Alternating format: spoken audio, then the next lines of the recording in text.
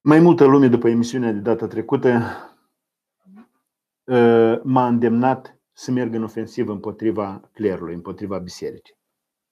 Eu nu o să merg în ofensivă, pentru că ei s-au oprit. Cel puțin majoritatea dintre ei s-au oprit să mai împartă virus cu linguriță.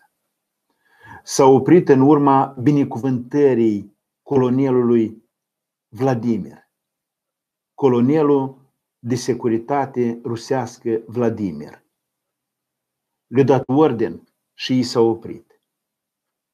Eu nu o să merg în ofensivă împotriva lor. Eu am să merg în ofensivă după ce se termină toată chestia asta. Pentru că nu mai am de gând să tolerez prin luările mele de atitudine această armată a 15 rusească aici. Acești oameni sunt, ei răspândesc propagandă rusească.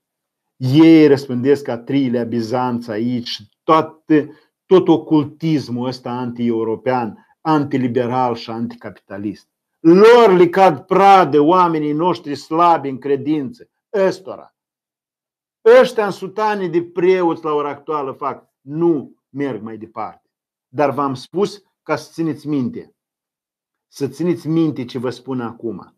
Acum ei și-au arătat fața și sigur că trebuie să mergem în ofensivă. Dar un pic mai târziu. Un pic mai târziu.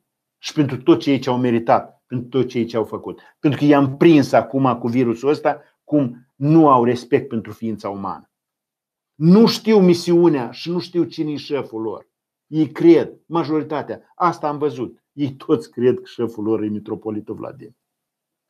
Pentru că ei toți sunt Petru, de la Simeon. Pentru că ei cred că Hristos le-a lăsat cheile de la biserică și ei sunt proprietari acestei biserici. Ei asta cred. Și cei ce au făcut ei, ei au îndeplinit ordinul lui, lui colonelul Vladimir, care până la urmă s-a înțeles cu Dodon, înțeles e acolo că hai colonele, hai să le intrăm în voie la prostime asta, că altfel ce să facem? Lăsați că acum sunteți în pagubă voi, râde voi muzicanții, dacă se întâmpla toamna, râdeți voi, râdeți voi de muzicanți că a intervenit virusul ăsta în businessul muzicanților, că toamna să fac nunți. Acum e postul și e sezonul preoților.